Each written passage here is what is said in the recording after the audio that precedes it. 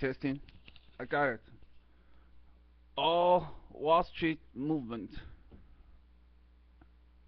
is for me. All the occupying Wall Street movement is for the fucking me.